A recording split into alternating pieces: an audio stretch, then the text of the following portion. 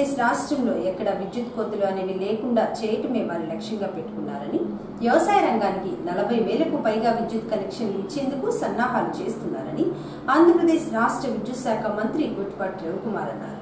కోరసపాడు మండలం మేదరమిట్లలో ఆదివారం తెలుగుదేశం పార్టీ కార్యకర్తలతో ఆత్మీయ సమావేశాన్ని ఏర్పాటు చేయగా మంత్రి రవికుమార్ హాజరయ్యారు. ఎమ్మెల్యేగా భారీ మెజారిటీతో గెలుపొంది విద్యుత్ శాఖ మంత్రిగా బాధ్యతలు స్వీకరించి ఆదివారం మేదరమిట్ల రాగా తెలుగుదేశం పార్టీ జనసేన పార్టీ నాయకులు కార్యకర్తలు మంత్రి రఘుకుమార్ను కలిసి పుష్పగుచ్చాలు అందజేసి సాలువ కప్పి సత్కరించారు. జిల్లా ఏఎస్పీ విజలేశ్వర్ మంత్రి రఘుకుమార్ను మర్యాదపూర్వకంగా కలిసి పుష్పగుచ్చం అందజేశారు వీరితో పాటు వివిధ శాఖల అధికారులు కూడా మంత్రిని కలిశారు. రవికుమార్ టీడీపీ జేఎస్పీ పార్టీల నేతలను కలిసి ఎంతో ఆప్యాయంగా పలకరించారు. తన గెలుపుకు కృషి చేసి మంచి మెజారిటీ అందించి మంత్రిగా చేశారని అద్దెంకి నియోజకవర్గంలో ఉన్న ప్రజలందరికీ తను ఎప్పుడూ రుణపడి ఉంటారని రవికుమార్ చెప్పారు. నియోజకవర్గంలో ఎటువంటి సమస్యలు ఉన్నా తన దృష్టికి తీసుకుని రావాలని పిలుపునిచ్చారు.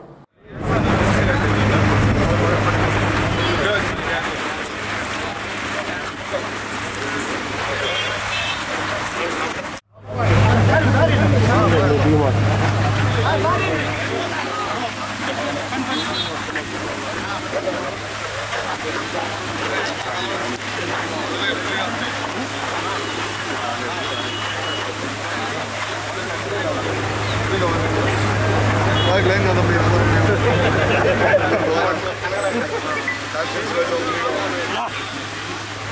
Ah, no.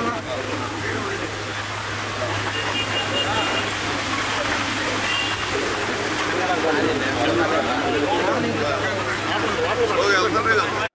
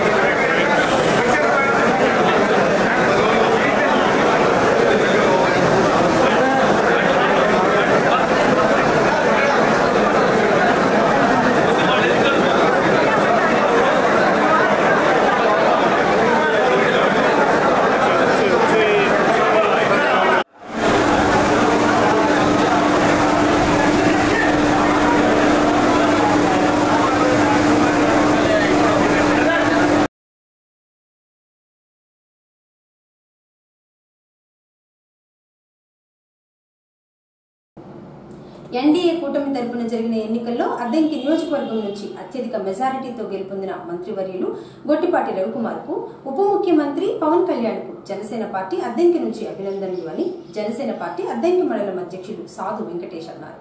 అద్దంకి పట్టణంలోని శ్రీనగర్లో ఉన్న జనసేన పార్టీ కార్యాలయంలో ఆదివారం ఏర్పాటు చేసిన మీడియా సమావేశంలో వెంకటేష్ మాట్లాడుతూ అద్దంకి నియోజకవర్గంలో మంత్రి రవికుమార్కు మద్దతుగా జనసేన పార్టీ నాయకులు కార్యకర్తలు ఎంతో కష్టపడి పనిచేయడం వలనే మంచి మెజారిటీతో గెలుపొందారని రవికుమార్ మంత్రి అయిన నేపథ్యంలో అద్దంకి నియోజకవర్గంలో ఉన్న జనసేన పార్టీ నాయకులను కార్యకర్తలను గుర్తించి తగు ప్రాధాన్యత ఇవ్వాలన్నారు.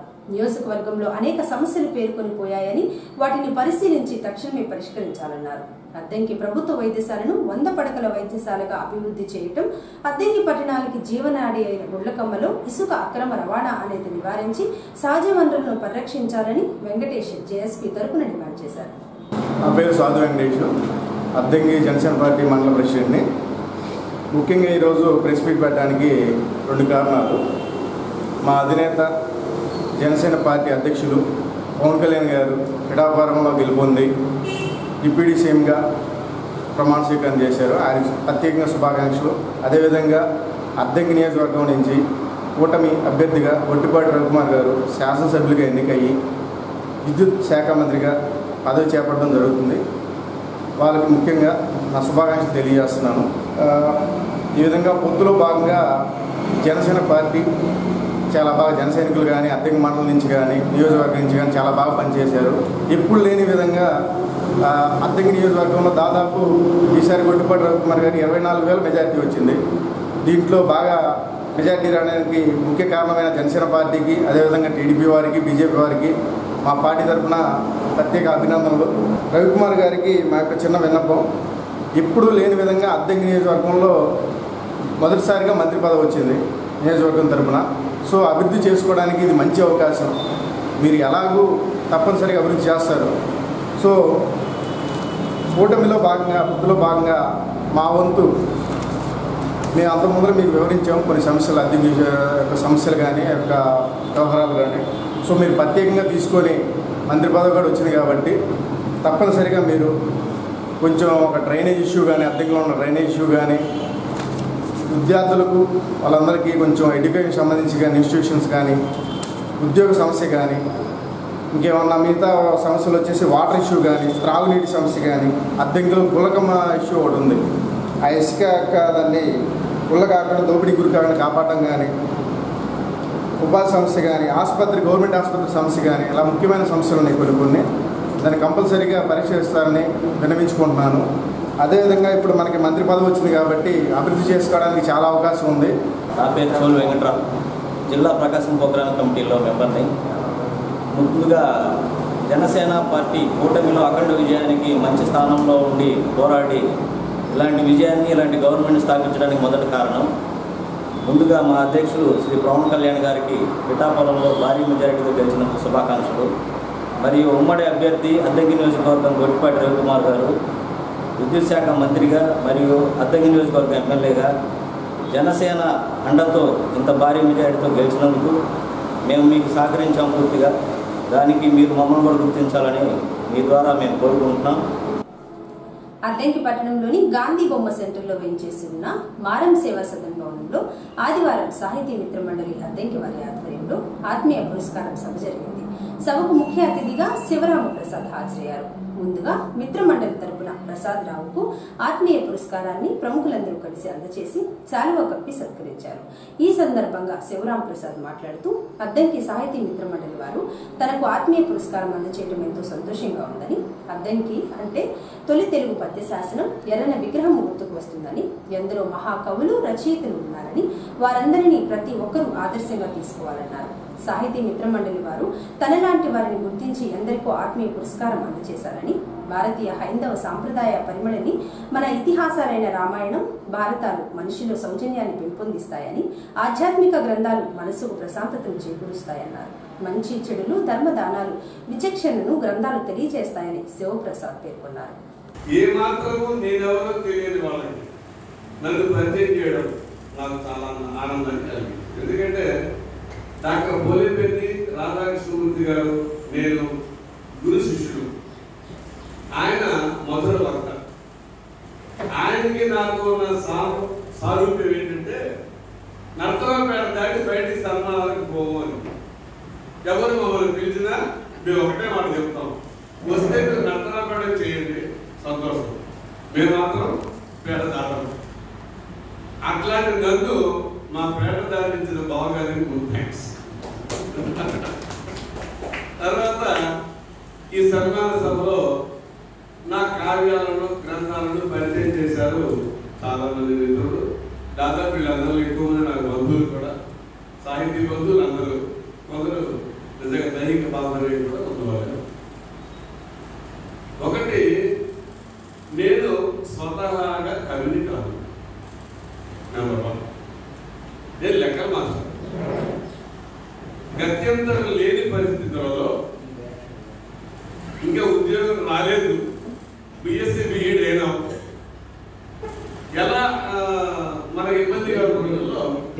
మెట్రిక్ వాళ్ళకి ట్యూషన్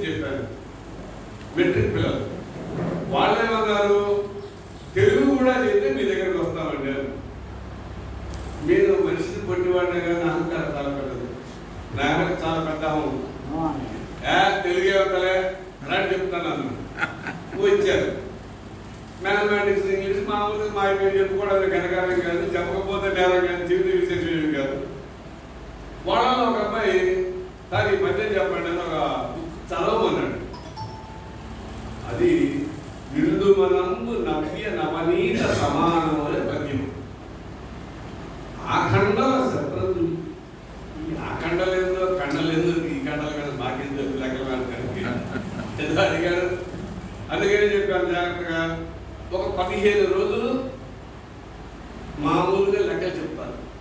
పదిహేను రోజులు ఇంగ్లీష్ చెప్తారు. పదిహేను రోజుల తర్వాత మీరు తెలుగు మొదలు పెడతారు. ఈ నెల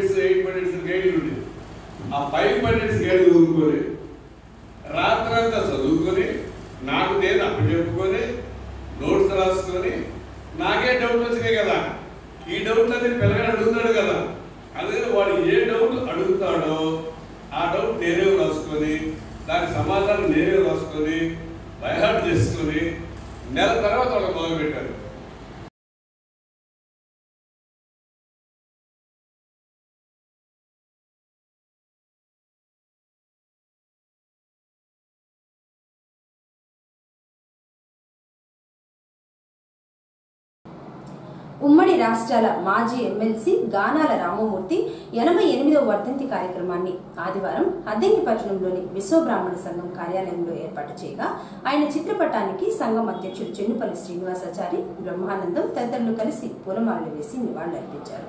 ఈ సందర్భంగా కొనకనమిట్ల మండలం నాగంపల్లి గ్రామానికి చెందిన రామమూర్తికి బ్రెయిన్ స్ట్రోక్ రాగా ఆపరేషన్ చేయించుకోవడానికి ఆర్థికంగా ఇబ్బందులు పడుతున్న నేపథ్యంలో జిల్లా సంఘం దృష్టికి తీసుకురాగా ఆదివారం సంఘ నాయకులు సేకరించిన విరాళాలు అరవై తొమ్మిది వేల రూపాయలు సేకరించగా రామమూర్తి కుటుంబ సభ్యులకు అందజేశారు.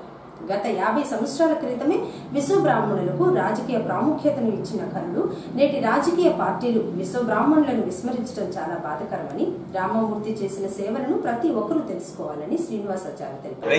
హాస్పిటల్లో వైద్య చేయించుకుంటూ ఆర్థిక సహాయం కావాలని మండల అధ్యక్షులు ఎద్దనపూడి వీరబ్రహ్మాచారి గారి ద్వారా ప్రకాశం జిల్లా విశ్వబ్రాహ్మణ సంఘానికి వారు వినతి పత్రం సమర్పించారు. ఆ వినతి పత్రాన్ని పూర్వపరాలు పరిశీలించిన మీదట జిల్లా కమిటీ నిర్ణయం తీసుకొని మరి దాతలను మేము చందా అడిగిన వెంటనే స్పందించి నలభై ఎనిమిది గంటల్లో అరవై తొమ్మిది వేల అరవై ఆరు రూపాయలని దాతల ద్వారా నగదు సేకరించాము ఈ సందర్భంగా రామూర్తి గారికి స్వచ్ఛందంగా విరాళ పంపిన దాతలందరూ ప్రతి ఒక్కరికి పేరు పేరున ప్రకాశం జిల్లా విశ్వబ్రాహ్మణ సంఘం తరఫున హృదయపూర్వక అభినందనలు. మరి సంఘం మనం బాధ్యత తీసుకున్న నాటి నుండి నేటి వరకు ఇప్పటి వరకు ఇరవై ఐదు లక్షల రూపాయల మేరకు సంఘీయులకి దాతల ద్వారా అందించడం జరిగింది. ఈ జిల్లాలో ఎవరు కూడా ఆరోగ్యపరంగా ఇబ్బంది పడకూడదు. ఎవరు కూడా డబ్బు లేక చదువు మానేయకూడదు అనే ఉద్దేశంతో ఈ జిల్లా సంఘం పనిచేస్తుంది. మరి ఈ జిల్లా సంఘానికి తోడుగా అన్ని మండలాల నుంచి మరి బాపట్ల జిల్లాలో అద్దెంకి ఉన్నప్పుడు కూడా అద్దెంకి మండలాల నుంచి ఆ విధంగా ఉమ్మడి జిల్లాలో ఉన్నటువంటి కందుకూరు కానీ అందరూ కూడా రాష్ట్ర వ్యాప్తంగా ప్రకాశం జిల్లా ఏ సేవా కార్యక్రమం చేస్తున్నా పిలుపునిచ్చిన వెంటనే ప్రతి ఒక్కళ్ళు స్పందిస్తూ ఉన్నారు. మరి ఇదే స్ఫూర్తితోటి దాతలు ఏ నమ్మకంతో ఇస్తున్నారో ట్రాన్స్పరెన్సీగా నిజాయితీగా నిబద్ధతగా ప్రతి రూపాయి కూడా లబ్ధిదారు చెందే విధంగా సంఘం చేస్తుంది. మరి సంఘం చేస్తున్న సేవా కార్యక్రమాల పట్ల ఆకర్షితులై ఈ గ్రూపులో ఉన్నటువంటి అధికార ప్రముఖులు రాజకీయ ప్రముఖులు అందరూ కూడా అట్రాక్ట్ అయ్యి సేవా కార్యక్రమంలో భాగస్వాములు అవుతూ ఉన్నారు. వారందరికీ కూడా ధన్యవాదాలు. ఇంకా ఎక్కువగా కావాలి ఉన్న జనాభా రేషియో ప్రకారం మన అందరం కూడా దీంట్లో భాగస్వాములు కావాలని కోరుకుంటున్నాం.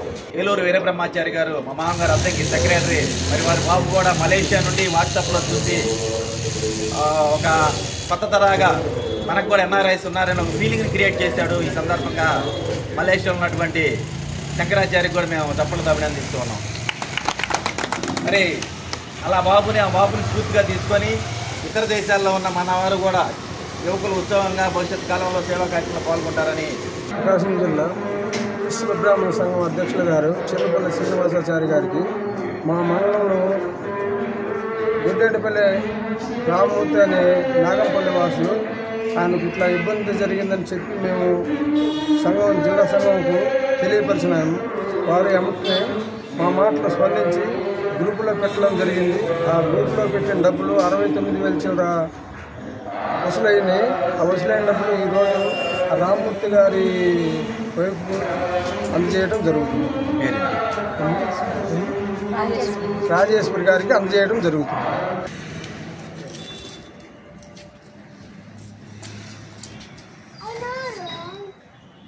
భారతీయ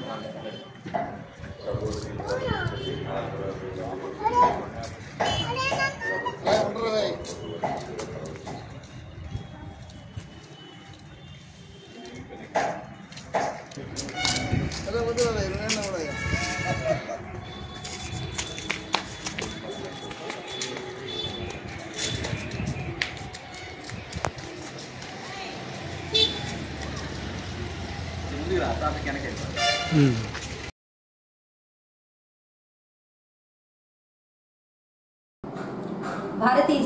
పార్టీ ఆదేశాల మేరకు శ్యామ్ ప్రసాద్ ముఖర్జీ బలిదాన్ దివస్ని పురస్కరించుకుని అద్దెకి మండలం జార్లపాలెం గ్రామంలో ఆదివారం కార్యక్రమాన్ని నిర్వహించారు. ముందుగా శ్యామ్ ప్రసాద్ ముఖర్జీ చిత్రపటానికి పూలమాలలు వేసి నివాళులర్పించారు ఈ సందర్భంగా రాష్ట్ర యువ మోర్చా కార్యవర్గ సభ్యులు శ్రీరామ్ జాతి కోసం ఎంతో పోరాడిన శ్యామ్ ప్రసాద్ గురించి వివరించారు. భారతదేశంలో రెండు జెండాలు రెండు ప్రధానులు ఉండకూడదనే నినాదంతో ముఖర్జీ పోరాటం చేశారని శ్రీరామ్ తెలిపారు. పంతొమ్మిది వందల యాభై దశకంలో నెహ్రూ యొక్క కాశ్మీర్లో ఆయనను అవలంబిస్తున్నటువంటి ద్వంద్వ నీతికి ఆయన యొక్క దమన నీతికి వ్యతిరేకంగా ఆనాటి ఆయన కేబినెట్లోనే పరిశ్రమల శాఖ మంత్రిగా ఉన్నటువంటి శ్యాంప్రసాద్ ముఖర్జీ గారు ఆయన దేశ వ్యతిరేక విధానాలకు విరక్తి చెంది ఈ ఖచ్చితంగా నెహ్రూ ఈ విధానాలు కొనసాగిస్తే దేశం మొత్తం మొక్కలైపోతుంది. ఒక కాశ్మీర్ అనేది భారతదేశం అంతర్భాగం. కానీ నెహ్రూ మాత్రం దీన్ని ఒక ప్రత్యేక దేశంగా చూస్తున్నాడని చెప్పి ఆయన తట్టుకోలేక తన దేశభక్తిని ప్రదర్శిస్తూ ఆయన చెప్పిన ఒక నినాదం ఏ దేశమే దో నిషాన్ దో ప్రధాన్ దో విధాన్ నహి చెలేగా నహి చెలేగా అంటూ ఒక నినాదాన్ని ఇచ్చారు. దీని అర్థం ఏంటంటే ఒక దేశంలో రెండు జెండాలు రెండు ప్రధానులు రెండు విధానాలు చల్లవంటూ ఆయన గట్టిగా నిలదించారు కారణం ఏంటంటే ఆ రోజు పంతొమ్మిది నలభై ఏడులో మనకు స్వాతంత్రం వచ్చిన తర్వాత పటేల్ అభినవ్ సర్దార్ మన సర్దార్ వల్లభాయ్ పటేల్ గారు దేశంలోని అన్ని సంస్థానాలను ఎంతో సులువుగా భారతదేశంలో కలపగా ఒకే ఒక సంస్థానాన్ని మన నెహ్రూ గారు కాశ్మీర్ కలపలేక ఎన్నో ఇబ్బందులు పెడుతూ ఆ దేశం మొత్తాన్ని. అక్కడ లియాఖత్ నెహ్రూ అనే ఒప్పందాన్ని చేసుకొని ఆ ఒప్పందం యొక్క ఆ- ఒప్పందం ఆ ఒప్పందంలో దేశ ప్రజలకు అన్యాయం చేస్తూ ఎటువంటి అన్యాయం అంటే కాశ్మీర్లో ఒక యువకుడు ఈ దేశంలో ఏ ప్రాంతంలోనే అమ్మాయిని పెళ్ళి చేసుకుంటే కాశ్మీర్ పౌరసత్వం కోల్పోతాడు.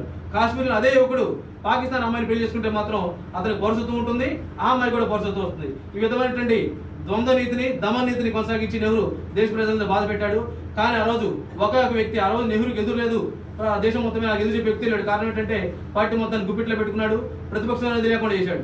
కానీ శ్యామప్రసాద్ ముఖర్జీ గారు ఆయన క్యాబినెట్లో మంత్రిగా ఉంటూ ఆ రోజు మంత్రిగా ఉండి ఎన్నో సేవలు చేసి మనకి ఇప్పుడు చూస్తున్న సింద్రి ఎరువుల కర్మాగారం కానీ చిత్తరంజన్ దాస్ రైలు కర్మాగారం కానీ హిందుస్థాన్ ఏరోటిక్ ఇన్వెస్ట్మెంట్ గొప్ప గొప్ప పరిశ్రమ స్థాపించిన వ్యక్తి ఎంతో ఇంకా మంచి భవిష్యత్తు ఉంది. నెహ్రూతో సఖ్యతగా ఉంటే ఆయనకి తర్వాత ప్రధానమంత్రి అవకాశం వచ్చేది. కానీ దేశ వ్యతిరేక విధానాలు పాల్పడుతున్న నెహ్రూకి గట్టిగా బుద్ధి చెప్పాలంటూ జనసంఘ్ స్థాపించి ఆయన ఒకటే చెప్పాడు నెహ్రూ ఈ యొక్క జనసంఘుని కాల రాస్తానని అన్ని చోట్ల చెబుతున్నాడు. నేను మాత్రం ఈ కాల రాస్తాననే నెహ్రూ యొక్క నినాద నినాదాన్ని కాల రాస్తానని నెహ్రూకి ఎదురు తిరిగి ఈరోజు శ్రీ శ్యామప్రకాష్ ముఖర్జీ గారి ఆత్మ బలిదాన దివోత్సవ కార్యక్రమాన్ని అద్దంకి రూరల్ మండలంలో ఏర్పాటు చేసి మరి ఇంతమంది కిసాన్ మోర్చా నాయకులు కావచ్చు యువ మోర్చా నాయకులు కావచ్చు భారతీయ జనతా పార్టీ సీనియర్ నాయకులు కావచ్చు మహిళా మోర్చా నాయకులు కావచ్చు మండల అధ్యక్షులు అందరినీ కూడా సమీకరించి మరి ఆయన ఆయన యొక్క బలిదానం మరి ఆయన ఎందుకు బలిదానం చేయవలసి వచ్చింది? ఈ దేశం కోసం మరి ఏమి ఆశించకుండా పూర్తి స్థాయిలో ఈ దేశానికి ఆయన ఎలా అంకితమయ్యారు అనే విషయాలన్నీ కూడా అందరికీ తెలియజేయమని ఇంత గొప్ప కార్యక్రమాన్ని ఏర్పాటు చేయమని మాకు రాష్ట్ర పార్టీ అధ్యక్షులు పురంధేశ్వరి మేడం గారి ఆదేశంలో ఈ యొక్క కార్యక్రమం తెలియజేయడం జరుగుతుంది. మరి ఆయన భారతీయ జనతా పార్టీలో ఉన్నటువంటి నాయకులందరికీ కూడా ఆదర్శవంతం. ఏదైతే భారతదేశం బలమైన భారతదేశం నిర్మాణంలో ఆయన ఆలోచనలు ఎలా ఉన్నాయో వాటిని ఆయన ఆలోచనల్ని అదే రీతిలో ముందుకు తీసుకెళ్తున్నటువంటి గౌరవ ప్రధాని నరేంద్ర మోదీ గారి సారథ్యంలో అందరం కూడా అద్భుతమైనటువంటి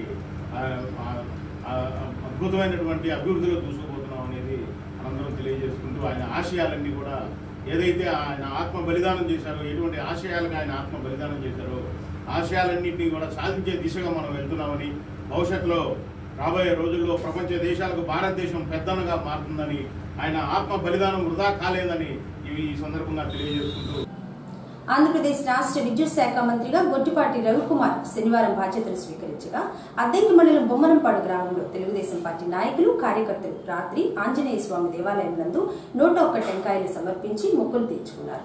ముందుగా గ్రామంలో తెలుగుదేశం పార్టీ కార్యకర్తలు ర్యాలీ చేపట్టి బాణసంచారం కాలుస్తూ సంబరాలు చేసుకుని గ్రామాల్లో ఉన్న అన్ని దేవాలయాలను సందర్శించి కొబ్బరికాయలు కొట్టి మొక్కులు చెల్లించుకున్నారు.